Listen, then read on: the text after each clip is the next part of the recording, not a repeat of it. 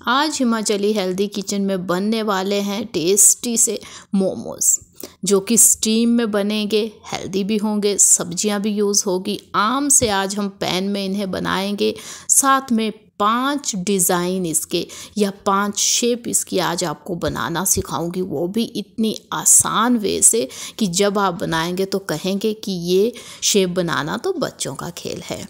सभी देखने वालों को नमस्ते, जय माता दी। स्वागत है आपका आपके अपने हिमाचली हेल्दी किचन में। आइए चलते हैं मोमोज बनाने। यहाँ पे मैंने पत्ता गोभी को कद्दूकस किया है। साथ में मैंने कुछ कैप्सिकम को बिल्कुल छोटे छोटे पीस में देखिए, ऐसे कट किया है। जितने छोटे पीस होंगे, जल्दी से पक जाएँगे। प्याज को भी मैंने ऐसे ही कट किया है। कुछ लिया है यहाँ पे मैदा। तो सबसे पहले हम जो डो है, वो लगाएँगे मैदा का। मैदा को एक बोल में निकाल लेंगे। उसमें मैं डाल दूँगी हल्का सा नमक।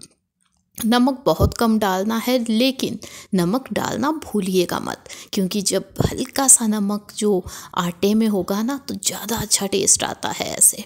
जो स्किन बनेगी, मोमोज़ की, उसमें भी नमक का टेस्ट होगा तो बहुत गज़ब के लगते हैं।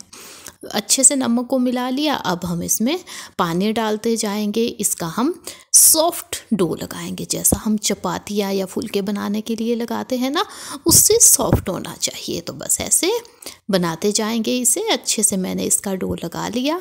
पाँच मिनट के लिए इसे हम ढक देंगे। जब तक ये अच्छे से सॉफ्ट होता है, आइए तब तक निपटा लेते हैं दो काम। जिसमें पहला काम है कि हम एक पैन में पानी उबालने लगा देंगे। साथ में हम जो हमने सब्ज़ियाँ ली है, यानी कि जो स्टफिंग है, वो भी हम बना लेते हैं। तो सभी जो मैंने सब्ज़ियाँ ली है, वो एक बोल में मैं निकाल दूँगी। कोई सी भी सब्ज़ी इसमें यूज़ की जा सकती है, जो भी आपको पसंद हो। तभी तो ये उतने ही हेल्दी होंगे जितनी सब्ज़ियाँ हम डालेंगे। एक सब्ज़ियाँ है, तब भी हेल्दी है स्टीम में बनेंगे तो सोने पे सुहागा ही हो जाएगा। तो बस देखते जाइए अभी आप, कुछ नमक डालेंगे। नमक हमने जैसे कि डो बनाते हुए भी डाला है तो हिसाब से डालेंगे। कुछ लाल मिर्च, कुछ हल्दी मैंने इसमें डाली है। कुछ मैं इसमें पीसा हुआ धनिया भी डाल दूँगी। अपनी इच्छा से आप कोई भी मसाले डाल सकते हैं। आम से मसाले डाले हैं क्योंकि हेल्दी बनाना है, इसलिए कोई मैंने इसमें ऐसे मसाले नहीं डाले हैं। सिंपल से मसाले हैं। स्टफिंग बढ़िया से बन गई है। देखिए कितनी बढ़िया स्टफिंग है। तो अब स्टफिंग भी बन गई। देख लेते हैं डो। जो डो है वो पाँच मिनट में देखिए अच्छे से सॉफ्ट हो गया, ऐसा डो चाहिए, मैं पास से दिखा देती हूँ। इतना सॉफ्ट होना चाहिए इसका डो। अब हम चकला ले लेंगे, साथ में हम लेते जाएँगे जो हमने डो बनाया, उससे बिल्कुल एक बहुत छोटी साइज़ की बॉल होती है, उतना आटा हमने लेना है, क्योंकि हमने एक छोटी सी बिल्कुल पतली इसकी चपाती बेलनी है। क्योंकि जितनी पतली स्किन होगी, उतना अच्छा टेस्ट आएगा, इतनी पतली होनी चाहिए। अब डालते जाएँगे इसमें स्टफिंग अब पहला डिज़ाइन मैं आपको इसका बताऊँगी। यहाँ से हम इसमें प्लेट्स देखिए, ऐसे डालते चलेंगे, ऐसे। फोल्ड किया, पीछे चिपकाते गए। इस साइड से भी डालेंगे आधे में, आधे से इस साइड में डालेंगे। उसके बाद जो आधा बचा, उसे एज इट इज़ ही इसमें चिपका देंगे।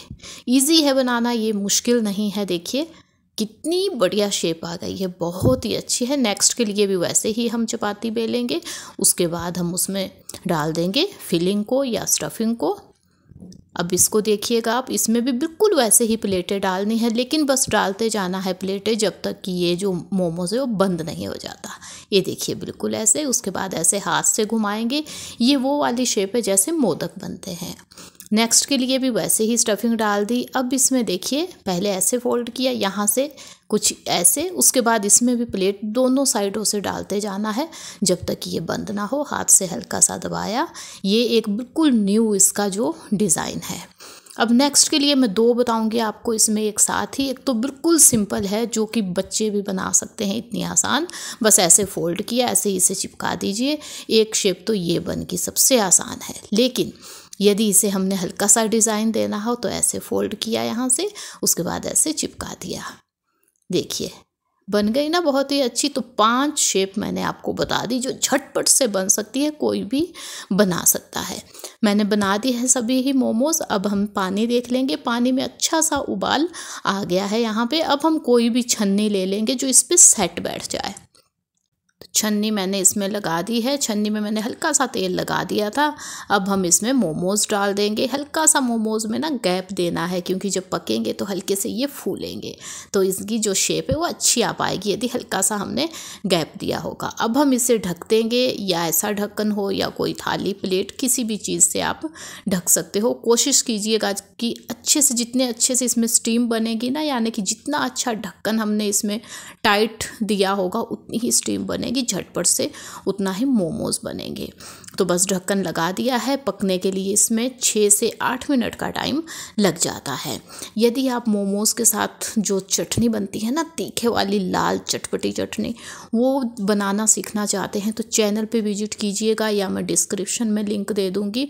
मैंने पहले से वो पाँच मिनट में चटनी बनाना सिखाया है। वो भी केवल उन चीज़ों से जो आपके किचन में मौजूद होगी। तो विज़िट कीजिएगा। जब भी कोई वीडियो आप देखें तो छोटा सा कमेंट कीजिए। वीडियो अच्छी लगी। तो लाइक कीजिएगा शेयर कीजिएगा तो पकने देते हैं अभी।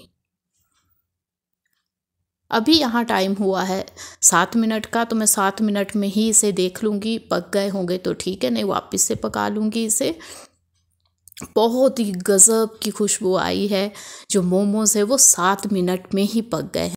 देखिए, जो सब्ज़ियाँ हैं मोमोज़ में हमने स्टफिंग डाली है, उनको आप देख सकते हो सामने से। यानी कि जो इसकी स्किन है, जो हमने चपाती बेली थी ना, वो बहुत ही पतली थी। बिल्कुल गज़ब के टेस्टी ये बने हैं वो जो ठेले वाले भैया देते हैं, या हम कहीं भी जाके खाते हैं ना, बिल्कुल वैसे बने हैं, उनसे ज़्यादा हेल्दी है, क्योंकि हमने बहुत सी सब्जियों के साथ अपने किचन में इन्हें अपने हाथों से बनाया है, कोई केमिकल यूज़ नहीं किया है, कोई तेल यूज़ नहीं किया है तो ये बहुत ही गज़ब के हेल्दी भी है टेस्टी भी है।